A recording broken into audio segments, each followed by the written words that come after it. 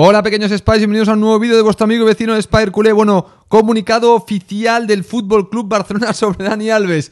Acabamos de fichar al segundo jugador más viejo de la historia del Barça en 120 años de... No, 120 no. ¿Qué coño estoy diciendo? ¿120 o 130?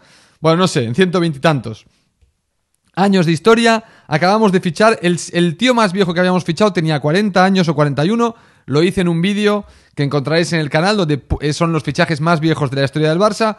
Que sepáis que el tío más viejo que habíamos fichado en el Barça era un tío de 41 años, que lo fichamos en el 1890 y algo. Y este, Dani Alves, se convierte en el segundo jugador más viejo. Para todos aquellos que llamaban al Kun el Kun abuelo, no sé cómo llamaréis a Dani, Dani la momia, o no sé cómo se le llamará a Dani Alves. Bueno, os leo rápidamente el comunicado. Dice, principio de acuerdo para la incorporación de Dani Alves. El lateral brasileño ya jugó en el club Braurana desde la temporada 2008 a 2009, perdón, de la 2008 a 2009 a la 2015-2016. Estamos repescando a un tío que se fue hace seis años después de llevar en el club casi ocho. Madre mía. Dice el comunicado, el Fútbol Club Barcelona y Dani Alves han llegado a un principio de acuerdo para su incorporación al primer equipo de fútbol por lo que queda de esta temporada. El jugador brasileño se incorporará a los entrenamientos la semana próxima, pero no podrá debutar hasta enero. Para aquellos que se especulaban que igual podía jugar contra el español, no, hasta enero. O sea que tendrá tiempo para coger forma de entrenamiento, no tendrá ritmo de competición, cuidado, no tendrá ritmo de competición. Es muy distinto estar entrenando con tus compañeros que estar jugando competición. Y esto es una coña. Pero le rezo a todos los dioses para que entrenando de aquí a enero no se nos lesione. Dice, próximamente el club informará de los detalles de su presentación como nuevo jugador del primer equipo de fútbol. Mirar, como se llena el estadio para ver a Dani Alves, como si estuviéramos fichando a Haaland, yo ya no voy a entender nada. Dice eh, el comunicado, el mejor lateral derecho de la historia del Barça y posiblemente del mundo. Yo no, de hecho creo que es el jugador con más títulos eh, del mundo, o sea, de la historia del fútbol. Y es lateral, o sea, que eso ya supuestamente le debería convertir en el lateral en el mejor lateral de la historia, no del Barça, del mundo.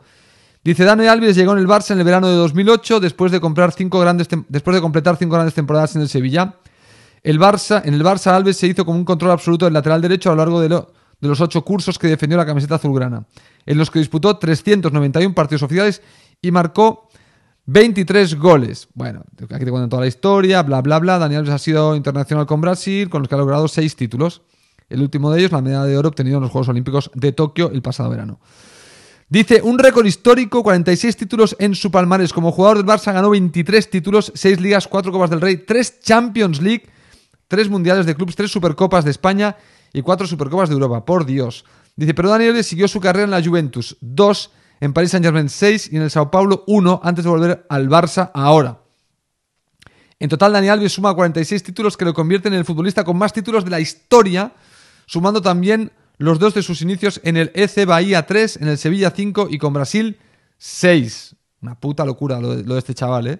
Verdaderamente. Y hay una foto aquí en el comunicado del Barça de su presentación en 2008 y verdaderamente parece otro, parece otro ser humano. Bueno, señores, nada, esta es la noticia que acaba de salir. Dani Alves vuelve. Y por cierto, estaba leyendo una noticia, me, ha asustado, ¿eh? He visto una noticia, noticia en Sport que decía que Andrés Iniesta le gustaría volver al Barça y que sigue en activo, como diciendo, cuidado, que el Barça empieza a crear escuela fichando a jugadores de más de 35, ¿eh? Cuidadín. Y he pensado, no me jodas que el Barça también se va a tirar a por Andrés Iniesta para, para recuperar. ¿Os imagináis que, que, empezamos a pillar a Andrés Iniesta, eh, que, Messi rescinde su contrato con el PSG y vienen todos para acá para hacer al Barça otra vez campeón y ganan la Champions? Hostia, ahí sí, sí, sería, sería un flipe, ¿eh? Bueno, nada, chavalotes, esta es la noticia. Confirmado, parece que es totalmente oficial. Lo digo porque esto, esto es un comunicado ni de Sport ni de Mundo Deportivo. Esto está en la web del Fútbol Club. Lo, que os acabo de leer está en la web del Fútbol Club Barcelona. Principio de acuerdo. Ojo, giro de guion. Hace dos o tres días la empresa de representación de Alves en Brasil dijo que esto de la reunión y de que él venía al Barça era falso. Joder, macho. Nos meten cada. O sea, Hacen cada, cada movida esta gente, yo no entiendo nada, tío. Esto es un pito arreo lo del Barça. Bueno, señores, Dani Alves, nuevo fichaje para enero, cuidadín, para enero, ¿eh? Para enero, bueno. Bueno, digáis lo que digáis, eh, el Barça está mal porque para que nos pongamos contentos con el fichaje de un tío de 38 años, por más bueno que sea, si esto te pone, te ilusiona y me dirás que yo soy un, un, una vinagrado, y un amargo. Pero ¿qué quieres que te diga? El Barça, os lo he dicho, os lo puse en un vídeo. Este es el tío, el segundo tío más viejo que el Barça ha fichado en su historia. Es que no puede ser. Es que yo, no, yo esto, vale, entiendo que es un parche y que el Barça ahora tiene que hacer cualquier cosa para seguir siendo competitivo. Pero a cualquiera que se le diga, se van a reír de nosotros, ¿eh? No, no, no jodamos. Más vale que, que Alves de muy, buen rendimiento, porque esto va, va a crear cierta mofa entre algunos clubes rivales, no tengáis duda. Porque pensarlo bien, pensarlo bien.